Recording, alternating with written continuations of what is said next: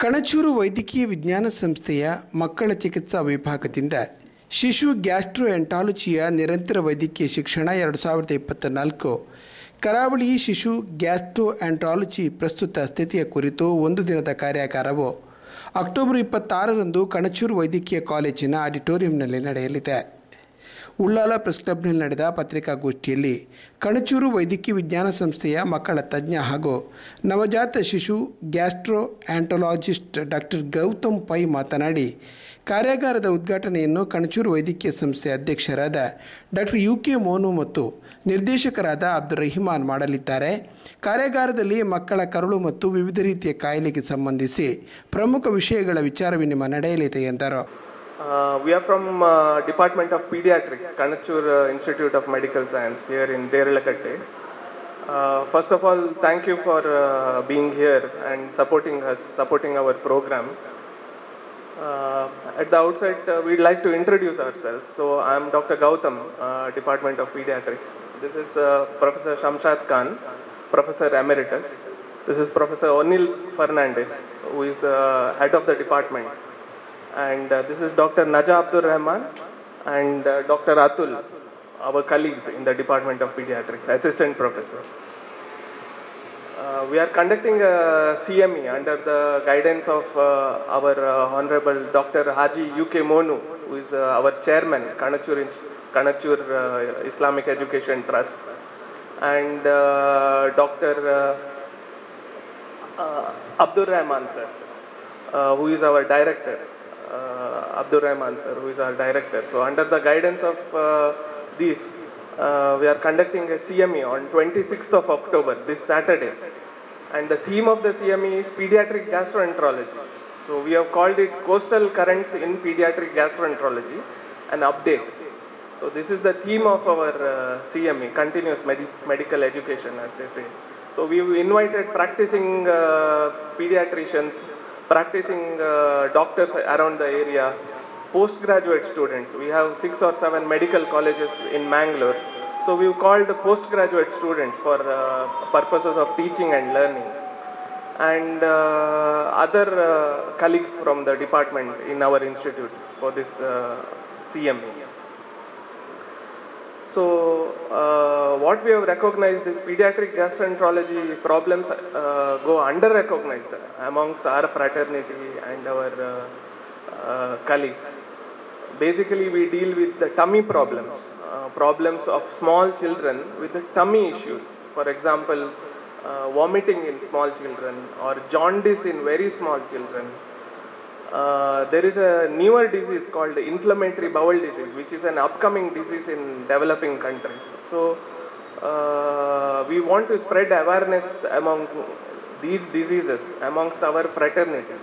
And uh, we have uh, decided to talk about uh, this fr- from eminent speakers. So, we have called eminent speakers from Kerala. So, one of our speaker is Dr. Riaz from Calicut. So, he is a professor and uh, he has been head of the Department of Pediatrics in Calicut.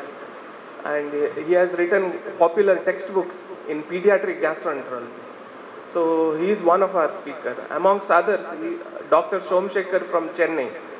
So he is a pediatric liver transplant uh, physician. And Dr. Sa- Satsangi, Dr. Sandeep Satsangi from uh, Apollo Hospital, Bangalore. He will be talking about newer drugs in uh, pediatric liver problems. And then we have our own uh, local faculty, uh, Dr. B.S. Prasad from AJ Institute. He is also a pediatric gastroenterologist.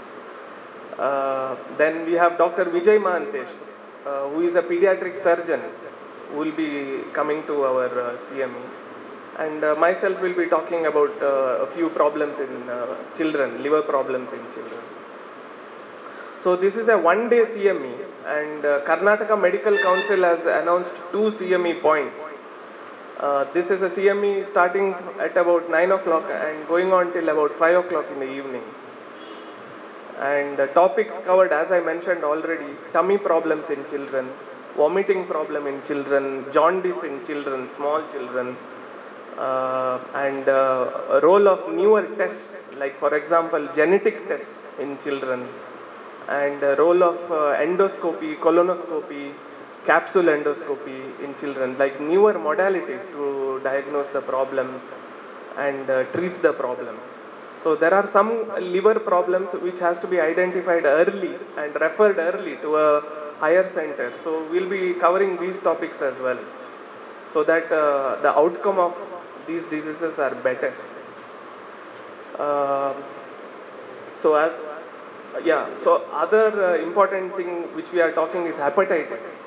Uh, hepatitis, as, as you all may know, it is a water spread uh, illness and uh, it's a vaccine preventable illness. So we, we give timely vaccines in children, we can prevent this hepatitis. Not only that, uh, boiling water and uh, hygiene measures, if we institute these uh, measures, hepatitis can be prevented. It's a, it's a major problem. We have got plenty of cases in last two to three weeks, especially children in hostels, children, uh, small children with jaundice. So they are suffering from this hepatitis problem. So if we spread awareness amongst our community and amongst our fraternity about this problem, I am sure uh, we can reduce the burden of hepatitis among school-going children. So I will pass on the mic to our uh, HOD for his words. ಹೌದು. ನಾನು ಕನ್ನಡದಲ್ಲೇ ಹೇಳಲಿಕ್ಕೆ ಸಹ ನಾವು ನಮ್ಮ ಕಣಚೂರು ಸಂಸ್ಥೆಗಳ ಅಡಿಯಲ್ಲಿ Kanachur medical ವಿಭಾಗ ಕಣಚೂರು ಪಿಡಿಯಾಟ್ರಿಕ್ ಡಿಪಾರ್ಟ್ಮೆಂಟ್ ಅಂದರೆ ಮಕ್ಕಳ ವಿಭಾಗದ ಅಡಿಯಲ್ಲಿ ಪಿಡಿಯಾಟ್ರಿಕ್ ಗ್ಯಾಸ್ಟ್ರೋಎಂಟ್ರಾಲಜಿ ಅಪ್ಡೇಟ್ ಅಂತ ಒಂದು ಸಿ ಎಂ ಇಯನ್ನು ಮಾಡ್ತಾ ಇದ್ದೇವೆ. ಅದು ಇಪ್ಪತ್ತಾರು ಅಕ್ಟೋಬರ್ ಸ್ಯಾಟರ್ಡೆ ಅದೇ ಈ ಈ ವಾರದಲ್ಲಿ, ಈ ವಾರದ ಕೊನೆಯಲ್ಲಿ ಇದೆ. ಆಡಿಟೋರಿಯಂ ನಮ್ಮ ಕಣಚೂರು ಆಡಿಟೋರಿಯಂ ಥರ್ಡ್ ಫ್ಲೋರಲ್ಲಿ ಇದು ನಡೀತಾ ಇದೆ. ಇದು ನಮ್ಮ patrons doctor Haji U K Haji U K Monu ಮತ್ತು ಅಬ್ದುಲ್ ರಹಮಾನ್ ಅವರ ಅಡಿಯಲ್ಲಿ ಅಡ್ವೈಸರ್ಸ್ ಡಾಕ್ಟರ್ ಶಾನವಾಸ್ ನಮ್ಮ dean M S Harish Shetty ಮತ್ತು ನಮ್ಮ ಪ್ರೊಫೆಸರ್ ಎಮೆಟರಸ್ ಡಾಕ್ಟರ್ ಶಾಮ್ಶಾದ್ ಮತ್ತು ರೋಹಿನ್ ಮಹೇಶ್ ಅವರ ಸಿ ಇ ಒ ಅವರ ಅಡಿಯಲ್ಲಿ ನಾವು ಮಾಡ್ತಾ ಇದ್ದೇವೆ. ಇದು ಒಂದು ದಿನದ ಸಿ ಎಂ ಇ ಇದರಲ್ಲಿ ಮೇನ್ಲಿ ನಾವು ಮಕ್ಕಳ ಪ್ರಾಬ್ಲಮ್ಗಳು ಹಿಪಟೈಟಿಸ್ ಮಕ್ಕಳ ವಾಂತಿ ಮತ್ತು ಅದರ ಕುರಿತ ಕೆಲವು ಕಾಯಿಲೆಗಳು ಮಕ್ಕಳ ಗ್ಯಾಸ್ಟ್ರೋಎಂಟ್ರೈಟಿಸ್ ಅಂದರೆ ಲೂಸ್ ಮೋಷನ್ಗೆ ಕುರಿತಂಥ ಕೆಲವು ವಿಷಯಗಳು, ಮತ್ತು ಈಗ ನ್ಯೂವರ್ ಟ್ರೆಂಡ್ಸ್ ಏನು ಹಿಪಟೈಟಿಸ್ ಬಗ್ಗೆ ವ್ಯಾಕ್ಸಿನೇಷನ್ ಆಗಲಿ ಅಥವಾ ಬೇರೆ ಜೆನೆಟಿಕ್ ಪ್ರಾಬ್ಲಮ್ಸ್ ಅಂದರೆ ನಮ್ಮ ಜೆನೆಟಿಕ್ ಪ್ರಾಬ್ಲಮ್ಸ್ಗಳು ಈಗ ಸ್ವಲ್ಪ ಜಾಸ್ತಿ ಆಗಿದ್ದಾವೆ. ಅದರಿಂದ ಅದು, ಅದ್ರ ಬಗ್ಗೆ ಕೂಡ ತುಂಬ ರಿಸರ್ಚ್ ಕೂಡ ನಡೀತಾ ಇದೆ. ಸೊ ಅದರ ನ್ಯೂವರ್ ಟ್ರೆಂಡ್ಸ್ಗಳು ಕೂಡ ಬರ್ತಾ ಇದ್ದಾವೆ. ಸೊ ಅದರ ಬಗ್ಗೆ ಕೂಡ ನಾವು ಮಾತಾಡ್ತೇವೆ ಅದರ ವಿಷಯದಲ್ಲಿ. ಸೊ ಕನ್ನಡದಲ್ಲಿ ಎಕ್ಸಾಕ್ಟ್ಲಿ ಹೇಳುದಿದ್ರೆ ಅದು ಎಕ್ರತ್ತು ಮಕ್ಕಳ ಎಕ್ರತ್ತಿನ ವಿಷಯ, ವಿಷಯವಾಗಿ ಈ ನಾವು ಸಿ ಎಂ ಎ ಮಾಡ್ತಾ ಇದ್ದೇವೆ. ಅವರು ಈಸ್ ಎ ಪಿಡಿಯಾಟ್ರಿಕ್ ಗ್ಯಾಸ್ಟ್ರೆಂಟ್ರಾಲಜಿಸ್ಟ್ ನಮ್ಮ ಸಿಟಿನಲ್ಲಿ ಇವರು ಮತ್ತು ಡಾಕ್ಟರ್ ಬಿ ಎಸ್ ಪ್ರಸಾದ್ ಅಂತ. ನಿಮಗೆ ಗೊತ್ತಿರ್ಬೋದು, ಮುಂಚೆ ಎಲ್ಲ ಬರೀ ಜನರಲ್ ಪ್ರಾಕ್ಟೀಷ್ನರ್ ಅಂದರೆ ಫ್ಯಾಮಿಲಿ ಡಾಕ್ಟರ್ ಅಂತ ಇರ್ತಾಯಿದ್ರು ಆಮೇಲೆ ಫಿಸಿಷಿಯನ್ಸ್ ಬಂದರು, ಆಮೇಲೆ ಕಾರ್ಡಿಯಾಲಜಿಸ್ಟು ಅಡಲ್ಟ್ಸಿಗಾಯಿತು ಇತ್ತೀಚೆಗೆ ಮಕ್ಕಳ ವಿಭಾಗದಲ್ಲೂ ಎಲ್ಲ ಮಕ್ಕಳ ಇ ಎನ್ ಟಿ ಸರ್ಜನ್ ಮಕ್ಕಳ ಹಾರ್ಟ್ ಸ್ಪೆಷಲಿಸ್ಟ್ ಇದ್ದಾರೆ, ಡಾಕ್ಟರ್ ಪ್ರೇಮ್ ಅಲ್ವಾ ಅಂತ. ಅವ್ರು ನಮ್ಮ ಹಾಸ್ಪಿಟ್ಲಿಗೆ ವಿಸಿಟ್ ಮಾಡ್ತಾರೆ. ಮತ್ತೀಗ ಡಾಕ್ಟರ್ ಗೌತಮ್ ಇದ್ದಾರೆ. ಹೀಗೆ ಮಕ್ಕಳಲ್ಲೂ ಎಲ್ಲ ಸಬ್ ಸ್ಪೆಷಾಲಿಟಿ ಬರ್ತಾ ಇದೆ. It's in era of sub specialty ಇದರಿಂದ ಏನು ಜನಗಳಿಗೆ, ಸಾಮಾನ್ಯ ಜನಗಳಿಗೆ ಏನು ಉಪಯೋಗ ಆಗ್ತದೆ ಅಂದರೆ, ಯಾವುದೇ ಕಾಯಿಲೆಯನ್ನು ಅದರ ಕರೆಕ್ಟು ಡಯಾಗ್ನೋಸ್ ಮಾಡಿ, ಅದಕ್ಕೆ ಏನು ಮಾಡಬೇಕು ಎಂಥ ವಿಷಯ ಅಂತ ಹೇಳಿಬಿಟ್ಟು ನಮ್ಮ ಕಾಲೇಜಿನಲ್ಲಿ ಎಲ್ಲ ಥರದ್ದು ಸೌಲಭ್ಯಗಳು ಇದೆ. ಮತ್ತು ನಮ್ಮ ಕಾಲೇಜಿನಲ್ಲಿ ಯಾವ ಥರದ್ದು ಹೆಚ್ಚು ಫೀಸ್ ಕೊಡೋ, ಅದೆಲ್ಲ ಏನು ಇರೋದಿಲ್ಲ. ಸ್ವಲ್ಪ ಇನ್ವೆಸ್ಟಿಗೇಷನಿಗೆ ಮಾ ಕಾನ್ಸಲ್ಟೇಷನ್ ಫೀಸ್ ಎಲ್ಲ ಫ್ರೀ ಸೊ ನಮಗೆ ಪಿಡಿಯಾಟ್ರಿಕ್ ಕಾರ್ಡಿಯಾಲಜಿಸ್ಟ್ ಬರ್ತಾರೆ. ಪ್ರತಿ ವಾರ ಒಂದು ದಿವಸ ಇಕೋ ಎಲ್ಲ ಮಾಡ್ತಾರೆ. ಗೌತಮ್ ಅವರು ನಮ್ಮಲ್ಲೇ ಇದ್ದಾರೆ ಡೈಲಿ ಇರ್ತಾರೆ. ಸೊ ಹೀಗಾಗಿ ನಾವು ಎಲ್ಲ ಸಬ್ ಸ್ಪೆಷಾಲಿಟಿನ ನಾವು ಡೆವಲಪ್ ಮಾಡ್ತಾ ಇದ್ದೀವಿ. ಸೊ ಈ ವಿಷಯದಲ್ಲಿ ನಾವು ಸಿ ಎಂ ಇ ಮಾಡಿ ಇದು ನಮ್ಮ ಈಗ ಪೋಸ್ಟ್ ಗ್ರಾಜುಯೇಟ್ಸ್ ಇದ್ದಾರಲ್ಲ ಎಂ ಡಿ ಆಗ್ತಿದ್ದಾರೆ ಅವ್ರಿಗೆ. ಇದ್ರ ಬಗ್ಗೆ ಹೆಚ್ಚು ಮಾಹಿತಿ ತಿಳಿದು, ಮತ್ತು ಇವರು ಪ್ರಾಕ್ಟೀಸ್ ಮಾಡಿದಾಗ ಇದನ್ನು ಜನ, ಎಲ್ಲ ಸಾಮಾನ್ಯ ಜನರಿಗೆ ಇದ್ರ ಬಗ್ಗೆ ತುಂಬ, ಈಗ ಮುಂಚೆ ಆದರೆ ನಾವು ವೆಲ್ಲೂರಿಗೆ ಹೋಗಬೇಕು, ಇಲ್ಲಿಗೆ ಹೋಗಬೇಕು ಪಿಡಿಯಾಟ್ರಿಕ್ ಡಯಾಲಿಸಿಸ್ ಮಾಡಬೇಕಂದ್ರೆ ಅಂತೇಳಿ ಎಲ್ಲ ಇತ್ತು. ಈಗ ಆ ಥರ ಏನಿಲ್ಲ. ನಮ್ಮೂರಿನಲ್ಲೇ ಆಲ್ಮೋಸ್ಟ್ ಎಲ್ಲ ಸಬ್ ಸ್ಪೆಷಾಲಿಟಿಗಳು ಬಂದಾಗಿದೆ ನಮ್ಮೂರಲ್ಲಿ ಹೆಚ್ಚು ಮೆಡಿಕಲ್ ಕಾಲೇಜಸ್ ಇದೆ. ಇದ್ರ ಜನ, ಸಾಮಾನ್ಯ ಜನರಿಗೆ ತುಂಬ ಇದ್ರ ಬಗ್ಗೆ ಉಪಯೋಗ ಆಗ್ತದೆ ಈಗ ಡೋಟಾ ಸ್ಕ್ಯಾನ್ ಅಂತ ಉಂಟು ಇಲ್ಲಿ.